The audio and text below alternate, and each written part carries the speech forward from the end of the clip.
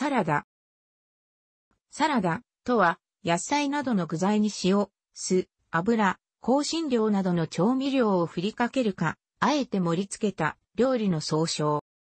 生のままの野菜や、ポテト、ブロッコリー、豆類などの煮たものを冷ましてから盛り合わせ、マヨネーズ、ドレッシング、塩等をかけて食べるものが一般的だが、野菜以外の材料を多く含む卵サラダ、ツナサラダ、ハムサラダ、マカロニサラダなどもサラダと称される。素材の選び方によっては、ビタミン C、食物繊維などを多く含む。なお、サラダのドレッシングに適した油のことを日本ではサラダ油という。また、サラダ油を使ったせんべいやスナック菓子などで塩味のものをサラダ味と称することがある。古代ギリシャ、ローマの時代にはすでに生野菜、主にキュウリやカボチャを食す習慣があり、サラダの語源は調味料の塩を意味するラテン語のサル、サル、または塩を加えるを味する動詞、サラーレ、サラレにあり、当時のサラダの原型が塩を振りかけて生野菜を食することにあったことを伺わせる。当時の人々にとって生野菜は腸の働きを整える薬効を持つ食材と捉えられていた。ローマの初代皇帝アウグストゥスは病気にかかった際、レタスを食べて一命を取り留めたという逸話も残されている。14世紀末には英国のリチャード2世の料理長がパセリやセージ、ネギ、ニンニクなどにオリーブ油、塩を振りかけて食べるレシピを記しており、今日のサラダに近いものを食していたことがわかる。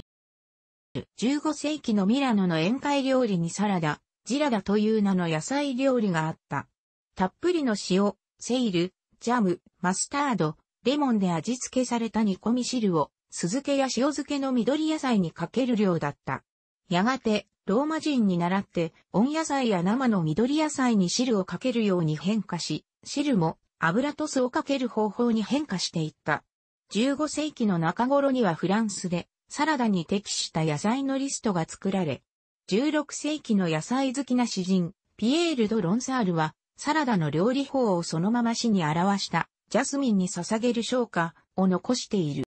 野菜以外のサラダが登場したのは17世紀。後半のことで、鶏肉、魚、エビなどが用いられ、18世紀の終わりには、フルーツサラダも見られるようになった。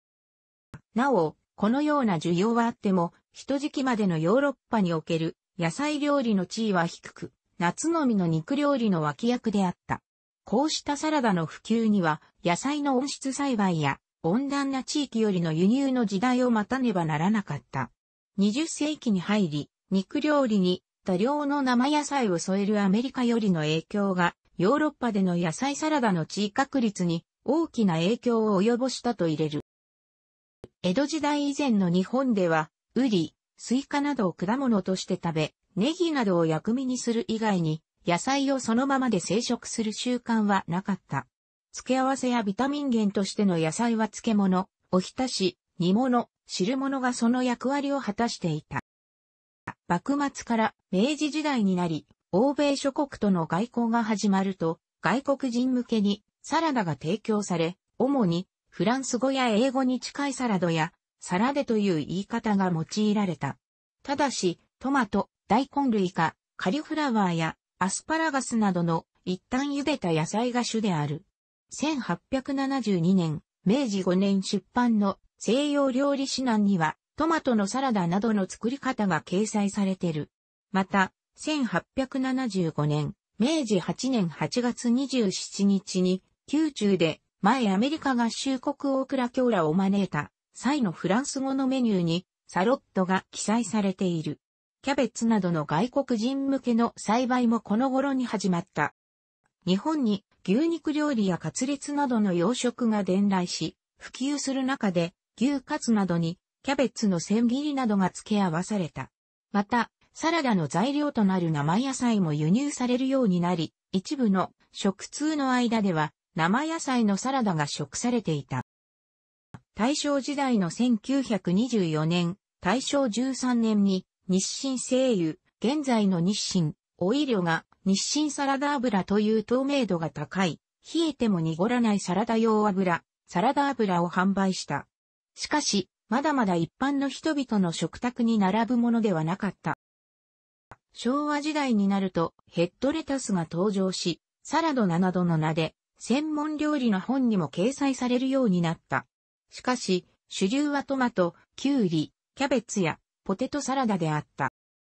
第二次世界大戦後の日本では、下越の利用が一般的であり、海中、行虫など、寄生虫が蔓延していた。これに対し GHQ は、化学肥料、堆肥の使用徹底を推し進めた。その後も、厚生省から1955年、昭和30年に、正常野菜の普及について指導されるなど衛生面の改善が徐々に進み、安心して生で食べられる食環境の整備、浸透が図られたが、各家庭の食卓にまでサラダが普及するには、1970年代中期頃までの年月経過を待たねばならなかった。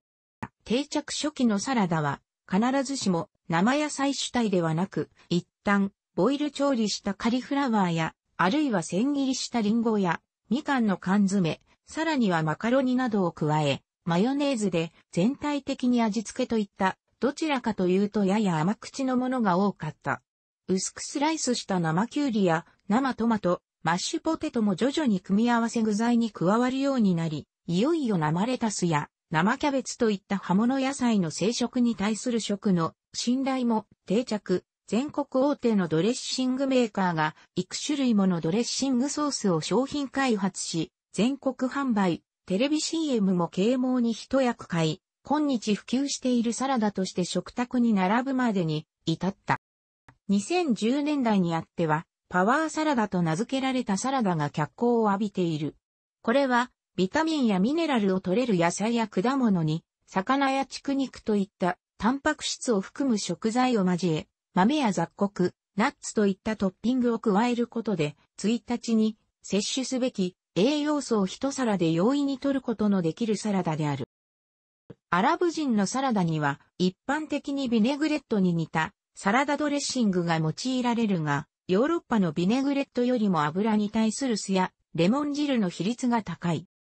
一般には生の野菜を使うとはされるが、一部には茹でた直後のまだ温かいものをサラダとする温サラダや、茹でた野菜が主体となる温野菜料理などがある。なお、日本ではブロッコリー、カリフラワー、ズッキーニ、マッシュルームなどを生野菜サラダにすることはまずないが、これは北米やヨーロッパでは決して珍しくない食習慣である。楽しくご覧になりましたら、購読と良いです。クリックしてください。